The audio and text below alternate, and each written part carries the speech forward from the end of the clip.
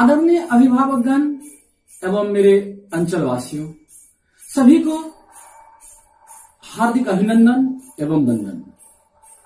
अभिभावकगण, आज आप सभी को सूचित करते बहुत हर्ष महसूस हो रहा है कि हमारे विद्यालय की लगभग दस वर्ष पूरा करके हम लोग ग्यारहवीं वर्ष में प्रवेश कर रहे हैं। प्यारे अभिभावकगण, जिस प्रकार से आप सभी का प्यार और स्नेह मिला है, और आप सभी का आशीर्वाद मिला है। उसके लिए हम तहे दिल से सभी अभिभावकों को, सभी अंचल वासियों को तहे दिल से धन्यवाद देता हूँ एवं वंदन करता हूँ। प्यारे अभिभावकगण, जैसा कि आप देखते हैं कि हमारा विद्यालय निरंतर बच्चों की उज्जवल भविष्य के लिए प्रयत्नशील है। प्यारे अभिभावकगण, आप जैसा कि देखें कि हम लोग लगातार किस प्रकार से बच्चों बच्चों की बौद्धिक, शारीरिक, मानसिक, शैक्षिक विकास के लिए किस प्रकार से हमेशा प्रयत्नशील रहे हैं? शिक्षा ही नहीं। शिक्षा के साथ साथ उसकी बौद्धिक कैसे विकास हो, उसकी शारीरिक कैसे विकास हो, उसकी मानसिक कैसे विकास हो, एवं उसकी व्यवहारिक विकास, जो कि सबसे महत्वपूर्ण है अनुशासन। हम लोगों ने इसका भी ध्यान में रखते हुए अनुशासन को बनाए रखे, ताकि हमारे बच्चे के लिए जो अमूल्य जीवन में जो चीज़ है, वो होती है अनुशासन क्योंकि इसके बिना शिक्षा का कोई अर्थ नहीं है। तो प्यारे अभिभावकगण, हमारा विद्यालय परिवार आपको लगातार सेवा प्रदान करते आए हैं। प्यारे अभिभावकगण, जैसा कि आप सभी जानते हैं कि विगत दस वर्षों में हमारा विद्यालय का मुख्य उद्देश्य यही रहा कि हम अपने अंचल में अधिक से अधिक शिक्षा की प्रसार करें।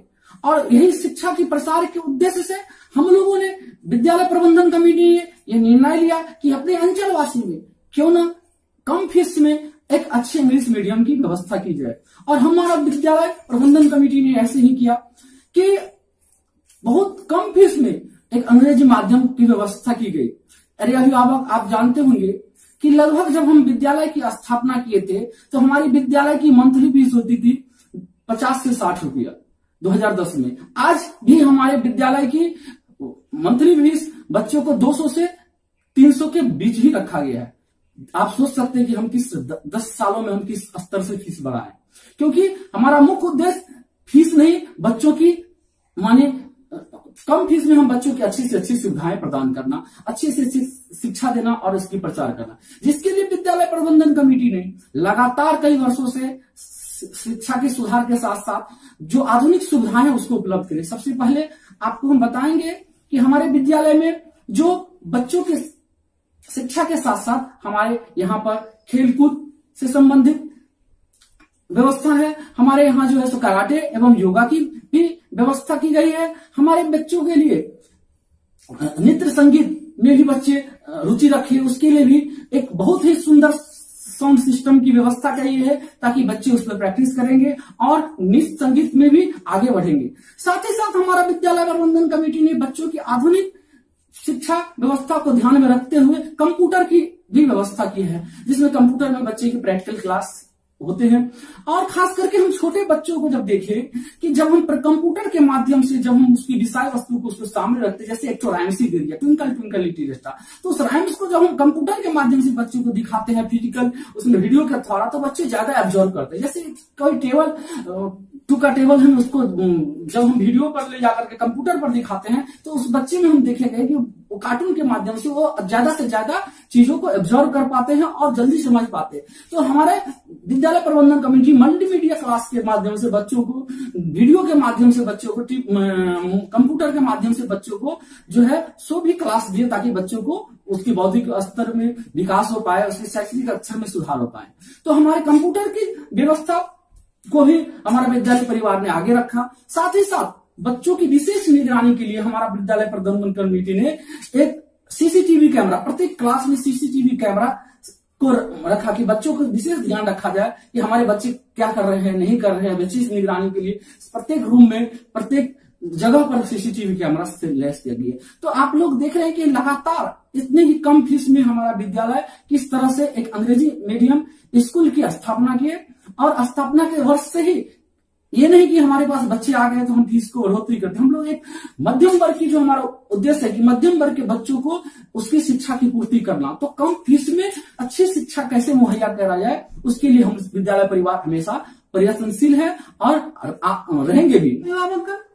हमारे विद्यालय का नए सेशन का एडमिशन 9 अक्टूबर से प्रारंभ होने जा रही है। आप सभी से मेरा आग्रह है कि प्रत्येक क्लास की नर्सरी से लेकर दसवीं तक कि हमारे विद्यालय में एडमिशन की प्रक्रिया प्रारंभ हो चुकी है। आप सभी 9 अक्टूबर से सुबह आठ बजे से लेकर के साढ़े बारह बजे तक विद्यालय में आकर संपर्क करें। किसी भी प्रकार की जानकारी हो, एडमिशन संबंधी हमारे एडमिशन का क्या प्रोसेस है, आप आकर के हमारे विद्यालय में जानकारी प्राप्त करें।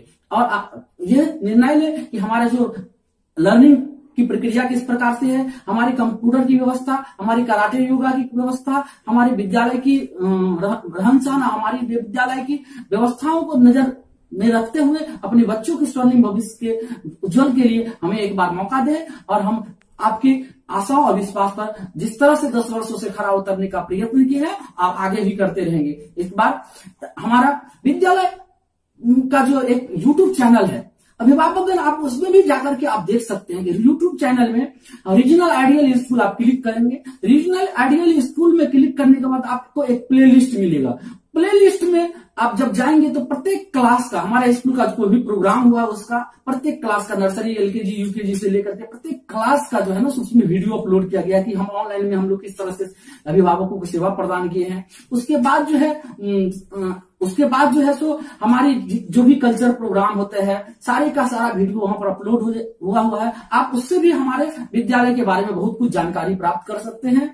तो आप आइए और आकर के हमारे विद्यालय में एडमिशन प्रोसेस को जानिए और जैसे ही हमारा नए बच्चे कुछ भर्ती होंगे, हम लोग उनको भी ऑनलाइन क्लास देना शुरू करेंगे। आपने देखे होंगे कि हम लोगों ने इस कोरोना काल के संकट काल में भी अभिभावकों को बच्चों से हमेशा जोड़ कर रखी हैं, चाहे वो वीडियो कॉन्फ्रेंसिंग के माध्यम से। हम लोग गूगल मीट ऐप के ज़रिए वीडियो कॉन्फ्रेंसिंग के माध्यम से प्रत्येक विषय को चैप्टर को समझाने का प्रयत्न किए हैं। उसके बाद व्हाट्सएप पर खास करके हम लोगों ने प्रत्येक विषय का प्रश्न उत्तर हल कर कर उसको सोल्व करके बच्चों को प्रयत्न देने का किए हैं। कि अभिभावक, बहुत सारे हमारे अभिभावक हैं जो उतने सक्षम नहीं अपने बच्चे को होमवर्क कराने में। तो उस, वो हम, बच्चों को कोई कठिनाइयाँ ना हो लॉकडाउन में किसी के पास पूछने जाने नहीं पड़े। इसीलिए प्रत्येक विषय का हम लोगों ने वीडियो बना करके, हम लोगों ने वीडियो कॉन्फ्रेंसिंग के माध्यम से, हम लोगों ने व्हाट्सएप के माध्यम से, हम लोगों ने प्रयत्न किए हैं कि उसको समस्याओं को हल करने। आदरणीय अभिभावक हमारे विद्यालय का